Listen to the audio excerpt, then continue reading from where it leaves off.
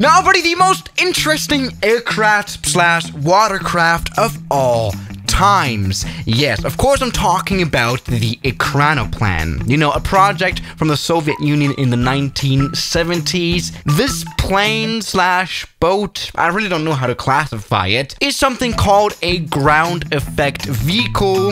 Um, I mean, I talked about it quite a while ago. Basically, it has short wings and, you know, aircraft engines, as you can tell, which help it get really fast. It actually does end up getting lift above water, and it uses ground effect to fly and go very quickly above water indeed. And this was the biggest ground effect vehicle ever built, the KM. Everybody, in today's video, I would like to very much fly it. See, we've never really seen a proper model for it for any flight simulator or anything, but everybody guess what I found here on Steam? A dedicated game, Soviet Monsters Ekranoplans, which has a bunch of interesting watercraft from the Soviet Union, and it's rated very well. Jesus Christ, mostly negative. Ekranoplans are good. This game is not. this is one of the most disappointing titles I've ever had so far. So those things, things, things are looking good. I bought this. This was 15 euros, by the way. Not that cheap, but it's for sure the only option we'll ever get to fly in a Ekranoplan. So let's do this. Uh, highest resolution.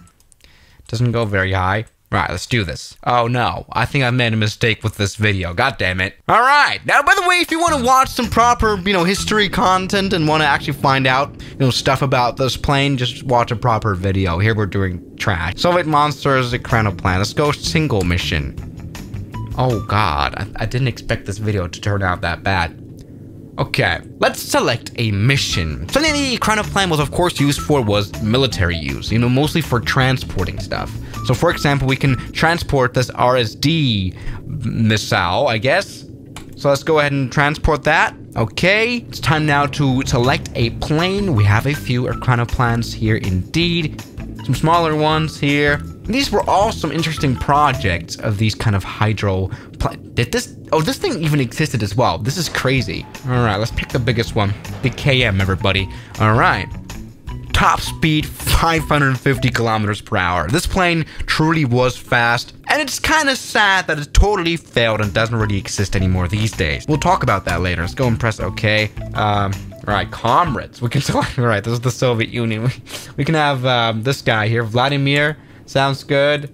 Officers, yeah, let's put them in here. Okay, this is a, very stupid game here. All right, now we have this RSD, you know, missile here, and we have to deliver it to eight locations marked on the map. We can load. Oh, we have to actually load it as well. This is actually a bit of a detailed game, I guess. All right, so welcome aboard the Ekranoplan. Why is this shaking? All right, looking good. Now we've got controls. All right, loading the RSD, and so welcome aboard the plane. Can we now go into the cockpit, please? Oh, yes, here we go. Welcome aboard the Ekranoplan. This does really look like a plane cockpit. We've got a classic yoke here. Let's go ahead and start up our engines. We've got lots and lots of them. Here we go. Engines warming up. Eight engines, huh? Good one. All right, let's go ahead and speed up right here. Left shift. All right. Okay, let's do this. We can uh, we can steer. Oh god, this is this is pretty bad. This is a bad flight simulator episode. I've just realized. Okay, let's uh, let's take off soon, please. Go lift, lift up. We of course though won't be able to reach high altitude. Yes, really, this was only made for flying like 10 meters above ground, something like that. All right, you know what? I, I kind of understand the reviews now. We're about to crash into land. Yeah, let me tell you, this is something that was real as well. This plane was incredibly hard to fly. Oh, damn. That didn't go very well at all. Mission failed. Comrade is dead. Are you sure that was just a... I just got stranded. Shut up. Well, this right now is happening in 1969. That's kind of nice. All right. There we go. Let's, uh, let's take off. Right there. That's what I'm talking about. All right, let's do this. All right. Jesus Christ, the, the sound really is terrible. All right, let me now try to maintain control of our Ekranoplan here. Again, it's not really the plane's goal to take off. It's really, you know, just going fast. So, uh, why isn't it doing that? Come on. We are in the cockpit. Got a live kind of cockpit here. No instruments. Uh, can we please just get out of the water now? Of course, that's really the thing that makes this plane go fast. You know, water just has lots and lots of drag, much more, of course, than air does. Taking off really gets you to some speeds, but this plane is just slow. It, nothing is happening at all. We're about to beach again. Come on, no. Not do that. Please take take off. Why is this so bad? Help! Literally, I've seen kayaks faster than this plane. This is the Ekranoplan. Why are we not going fast at all? Literally. Come on, full power. This is absolutely miserable of a game. I just wanted to mention that. That's great. It's a good, good thing. All right, you know what? Let's just crash it. That's like the only way out now. Yes. Look at that. Oh, I want to stay. Sadly. All right. We've got some more missions. Can we just... Oh, my God. All right, we have to rescue someone. That doesn't matter. All right, let me try another Ekranoplan that actually flies. How about, how about this one here? That sounds... Bartini. Sounds like a drink. All right, let's do this. All right, this is the top secret stealth mission. Yes, that's something a Ekranoplan could do as well. Of course, it flew at such low altitudes. So it didn't appear on any radars or sonars as well because it was above water. That's good. Let's go take off. Uh, all right.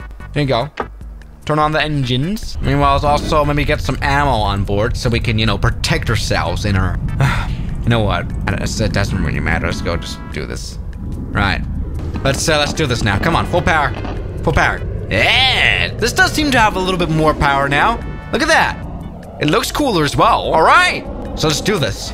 Now, I know this plane also came out in the 1970s, and I keep saying planes. It's more a watercraft, really. But why does it look more modern than like a a380. All right, anyway, let's take off. Oh, God. Not again. Yeah, as you can see, these things are, we're not really agile.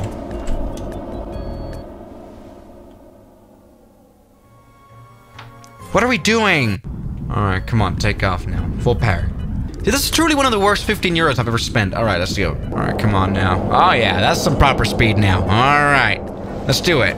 Will we be able to actually get out of the water as well? Why is it so broken and so laggy? This absolutely annoys me, this game. Like, why can't you just be proper? Alright, come on, take off. We take off, please. Full power. This one looks good now. By the way, I like how it has literally the same cockpit as the Ekranoplan. Alright, lift off. Lift off, and no lift off. There's nothing will fly here. Who made the simulator? I mean, it is funny. There's pretty much no picture of any of the plans really flying. oh, that's, that's looking great. Well, yeah, this is one of the worst games I've ever spent 15 euros on. That's great. And so, yeah, guys, thank you so much for watching today's video. And I'll see you guys tomorrow, as always. Good night.